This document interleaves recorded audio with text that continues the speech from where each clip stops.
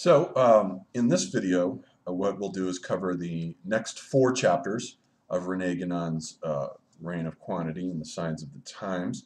Um, and these next four chapters are each on, uh, respectively, the qualitative and quantitative aspects of space, the qualitative and quantitative understandings of time, uh, the principle of individuation, and the spread and rise of uniformity in the West. And I think it's becoming clearer and clearer as I go through this what uh, Guénon is up to, which is essentially an attack on the Western metaphysical tradition, and by Western here I mean Northwestern, uh, the Faustian civilization.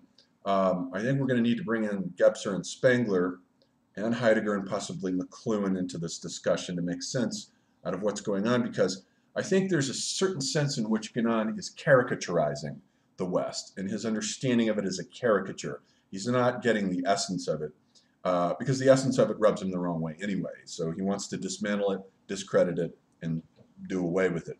So first, before getting into his ideas about space and time, um, I think it's worth discussing what the essence of the West is, I think. Uh, and no better individual did that than Oswald Spengler in The Decline of the West. Spengler had a talent for going through and identifying what he called the central earth symbols of each of the nine great civilizations. Uh, for China, it was the Tao. Uh, for India, it was the world as dream. Um, for the Greeks, it was the body, of course. Everything had to do with the body. And you get the ontological, metaphysical opposition of form versus matter.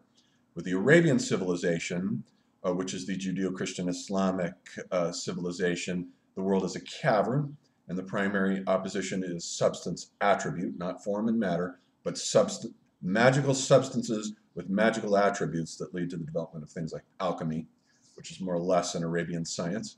Uh, and then the Northern European West, the Faustian civilization, totally distinct from the Greek and Roman civilization. This is the Faustian civilization where the primary symbol is infinite space. And that is what Guénon in these chapters is anathematizing. Um, the Faustian sense of infinite space is already there in the sense of the cathedrals, uh, they're the, they've got the largest interiors in the world. Their vectors, when you walk into them, are straight upward. And you know when you walk into them that this is the civilization that's going to go to the moon. There's no question about that. The, the there's a whole new set of axioms and metaphysical presuppositions that come in here. And the ontology, by the way, the ontological scientific uh, dichotomy is now force and mass, which I think is a dichotomy that is conspicuous by its absence in Rene Guénon's list here of form being equivalent to form and matter being equivalent to substance and attribute, uh, potency and act, and so forth. Um, I think that uh, force and mass is something that uh, which led to the development of things like the infinitesimal calculus and the motion of objects through space, through infinite space, the idea of a vanishing point on the horizon in perspectival painting, that vanishing point is the infinitesimal. It's exactly equivalent in calculus as it is in painting. And this is what the West discovered. This is the metaphysical understanding that the West originates here, long about 1400 AD, where it finally figures this out mathematically and perspectively. And we get Gebser's distinction. Uh, in Jean Gebser has a distinction between a, a pre-perspectival mentality in the arts a perspectival mentality which comes in there uh, in the 15th century in the West during the Renaissance, and the aperspectival mentality which comes in with the French Impressionists who begin dismantling the three-dimensional uh, perspectival world of infinite space, which opens up here in a window with Masaccio uh, in 1436 or so, mastering already, bringing in this idea of a, a third dimension into the representation of the Trinity, and then it gets handed down, and eventually it gets mastered by Leonardo. Uh, his Mona Lisa uh, is the first totally perspectively correct, aesthetically anyway. It may not be mathematically the first, but aesthetically he got it right there with Mona Lisa as the sort of muse of infinite space, and you get this sense of expanse. Behind her, everything has just dropped into a horizon of infinity. So, indeed, uh, which Guénon says in this chapter is an absurdity, um, the space is indeed empty for the Northern European West. We've got this idea that comes in now uh, that space is not only infinite, but it's an empty container, and objects are contained within it. Um, now, so he has this idea of qualitative space versus quantitative space, and of course, in his binary difference engine, qualitative is preferred uh, over quantitative. Uh, qualitative space for him now, uh, which he says is the proper understanding of space, is the, this idea that each object is a center, um, and direction is the qualitative element in space, and it radiates out from a center. The object is a pulsing center, like the cross, let's say, that has a series of radii that radiate out in all the different directions. And direction then is the qualitative aspect of space. So you got this idea that objects basically are creating their own spaces. This is a pre-modern, pre-perspectival understanding of space. It has nothing to do with modernity, and of course deliberately so in Guénon's sense. Whereas the qualitative or the quantitative understanding of space is the understanding of space as an empty vessel, which he says is an absurdity. How can you have empty space uh, with nothing in it or with objects in it? The objects make and define the space. They add up, they make up space.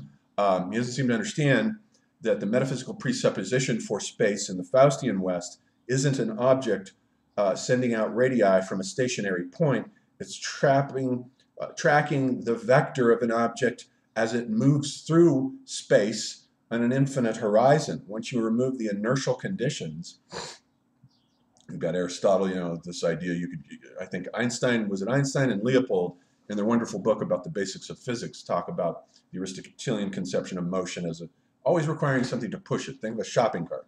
Um, and once you let go of that shopping cart, then it comes to a halt. So what's making it come to a halt? Well, there's friction and there's resistance. Let's make the wheels better. Let's get rid of friction it'll go farther. So you push it with the same amount of force, let it go, it goes farther. Okay, we'll push it again, we'll redesign the whole thing, and we'll make it, uh, in a certain sense, uh, superconductive to the elimination of all force. So we what if we just eliminated all restrictions that the object had? Well, in that case, it would just go forever. It would just have an inertial tendency to sail off in a straight line to infinity. The ancients didn't have this idea, and neither does Guénon. Um, this idea terrifies him. This is the idea of infinite space, in infinite motion. This is the Faustian genius at work here. This is why the Faustian civilization has conquered the planet, gone to the moon, has satellites in orbit, and why you're able to talk to your friends on your cell phone. It all came out of this presupposition of space as an empty vessel, what McLuhan called visual space, which comes in again with the Renaissance, and what Gebser calls perspectival space. Um, that's Faustian. And that is what Guénon is anathematizing here. He thinks it's an absolute absurdity. So he dismisses the Kantian antinomies and he says this is why you get the absurdity of the Kantian antinomies where he raises the question, um, is space infinite? Does it keep on going? Or does it have boundaries? Um, same thing with time. Was there a beginning to the universe or is it infinite in time? And Guénon says these are absurdities because you can't have, space is coextensive with the objects in it. Once it stops, there is no space beyond that point. He doesn't seem to be able to imagine this metaphysical Faustian presupposition of a space that goes on to infinity and that makes new metaphysical vectors possible, forces moving masses, infinitesimal calculi that make uh, physics possible and the, the, arrival of the jet engine and the rocket, all that comes out of this. Uh, you change the metaphysical presuppositions of the civilization and the axioms that get deducted from that make new things possible, events, new machines, new ideas, new things happen. Um, and the other antinomia about the infinity of time. Does time have a beginning or doesn't it? Well, according to Guénon, that's an absurdity because, of course, there was a beginning, and beyond that, there was nothing. And so he simply sides with one side of the antinomy that creates the enclosed cavern world. So it seems to me, interestingly, uh, he likes space to be bounded and he likes time to be bounded. That for him is qualitative space and time, uh, the kind of space and the kind of time that have the proper qualities associated with it. But notice that it's the cavern. It's the Arabian cavern that he's reactivated. He converted to Islam, went to live in Egypt, and he picked up the old Arabian prime earth symbol of the dome, the cavern. And this is the world that Gebser, in the first few pages of the ever present origin, shows Petrarch already exploding as he ascends Mount Ventoux, goes up to it, and he has this experience of this sublime communion with space. The world is a dome, is its days are numbered there from that point on, starting with Giotto bringing in the blue sky in the backgrounds of his paintings. The world as a gold enclosed dome begins to disintegrate, and the blue sky comes in, and pretty soon you've got vectors and mathematical perspe perspectivity. You've got the vertex coming in, and all of that wonderful stuff that Western civilization is built on. Now, I think here too, this misunderstanding or this caricaturization of the West leaks over into the other chapters where he talks about the principle of individuation. And he says, what is it that makes uh, the species? You have the species, which is the essence, and you have the individual. The individual participates in the species. The, the species is the essence, the individual is, is pure quantity. Uh, but the West has chosen this idea of the quantitative individual. Um, it has taken the entity and rendered it simply as quantitative. Um, and that is the Western understanding, the quantitative understanding of the principle of individuation that he rejects here. All individuals have qualities. They are qualitatively determinable. They have essences uh, attached to them, and the West doesn't seem to understand that. So he says this leads to the idea in the chapter on uniformity that democracy is a uniform form of government. He's very anti-democratic here. Uh, the democracy is a uniform form of government that presupposes that everyone is politically equal. Education, uh, we have the spread of universal education, which presupposes that everyone is just this numerically equal quantitative unit that all have the same aptitudes. So they all, everyone gets the same education. Industry comes in with its machines, with their numerative quantitative parts representing the pure principle of quantitativity and individuality as pure arithmetical units um, coming in with industry, everyone is equal. So he's got this idea that uh, with the West and the spread and rise of the reign of quantity, it leads to this idea of uniformity and that everyone is just simply numerically the same. Certain aspects of this do remind me of Heidegger and his critique of the understanding of being as Vorhandenheit, which is the, the West's understanding of being in the late metaphysical age, which happens to coincide with the perspectival age, the age of the world picture, as Heidegger calls it, in which objects are deworlded. They are deworlded and they're plugged into a metaphysical Cartesian phase space with an XYZ uh, triple axis uh, set of vectors, and they are pulled out of their contexts so that we can discover what their unique objective properties are.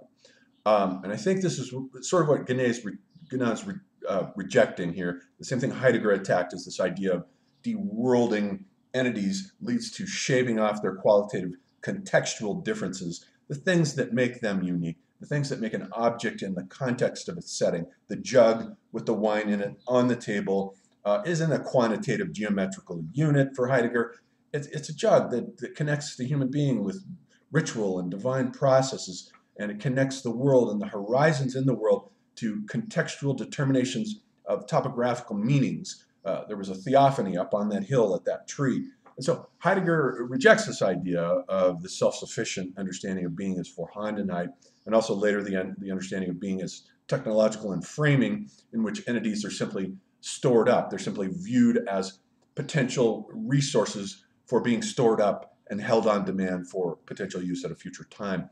And I think Guénon is rejecting, he's also sort of reacting to that same mentality that Heidegger's reacting, reacting to. But even so, even if we say that uh, the West has created this sort of uh, quantitative phase space in which it has deworlded entities and put them into a vectorial phase space of objectivity, it's not the case that they don't have qualities. It's not the case that they're just pure arithmetical units. They are not. They are put into that phase space so that we can discover what their objective unique properties are. We want to know what the unique properties of a thing is, and in order to do that, we've got to take a cross-sectional anatomical uh, Vitruvian man and stick it in there and see what its unique properties are. Then we write down what the objective qualities are. So it's Guénon's even got it wrong here that the mathematical understanding the way the West has treated entities in terms of plugging them into objective phase spaces isn't entirely shearing them of their qualities. Same thing with Kant. I think with Kant and his analysis of uh, the categories where he puts quantity and quality as two of the four categories, quantity, quality, relation, and modality, which are the four categories that he has as the categories of the understanding, as Verstand. um, that presuppose any object that comes to us will come to us through the transcendental aesthetic of space and time. Um, it'll be in space in a certain way, coextensive with other objects in space, and in time, flowing through time. And uh, the object will be a transcendental object that will have quantity, and the subcategories of quantity are unity, plurality, totality. The subcategories of quality are reality, negation, uh, uh, reality, negation, limitation. The subcategories of relation are substance, accident, cause, effect, and reciprocity. And then we have the subcategories of modality, which have to do with possibility and necessity and so on.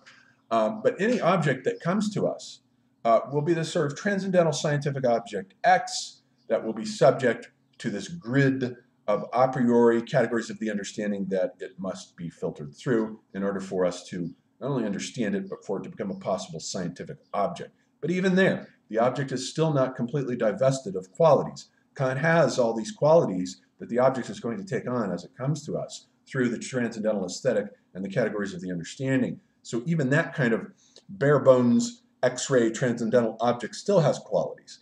The other thing I want to point out with Guénon is his attribution to the West that individual human beings are simply shorn of all their qualities and are anatomic or arithmetical units. That isn't the case at all. this is dead wrong. The West is based on taking the individual and transforming him or her into a species unto him or herself.